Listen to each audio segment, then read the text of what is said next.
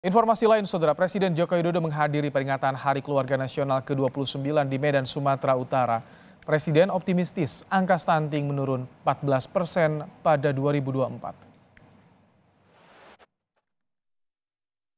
Peringatan Hari Keluarga Nasional ke-29, Presiden Joko Widodo memberi penghargaan Satya Lencana Wirakarya kepada kepala daerah dan Ketua Penggerak PKK berprestasi meningkatkan program pembangunan keluarga berencana di Indonesia.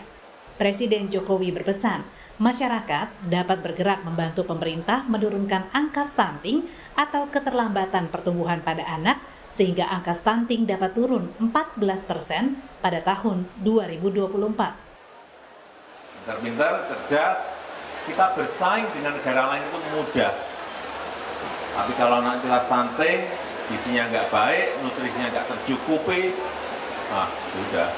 Nanti ke depan bersaing dengan negara-negara akan sangat kesulitan kita. Ini yang selalu saya ingatkan oleh sebab itu yang namanya stunting harus betul-betul kita kerja keras menurunkan persentasenya.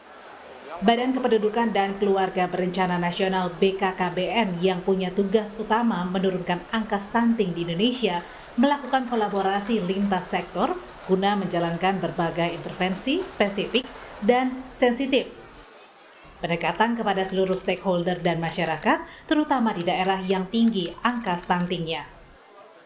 Harus kita kerjakan dengan sangat serius, harus ada program-program yang lebih, yaitu di NTT, Sulawesi Barat, Sulawesi Tenggara, kemudian di NTB, di Aceh, di Kalimantan Barat, Kalimantan Selatan. Hari Keluarga Nasional adalah momentum refleksi dan apresiasi negara terhadap peran penting keluarga membangun sumber daya manusia yang berkualitas dan unggul. Stefani Pandia, Dedi Ginting, Kompas TV, Medan, Sumatera Utara.